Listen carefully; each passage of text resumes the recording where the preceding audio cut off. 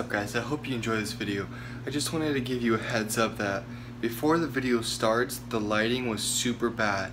Um, we start to play at 6 a.m. so the sun starts to come up um, as we were playing and um, we have huge glass windows in the basketball court we play at so the lighting alters um, as the day goes on so I had to um, adjust a lot of the lighting in the videos so some you'll see actually don't look too bad, but others it almost comes out like an oranges color.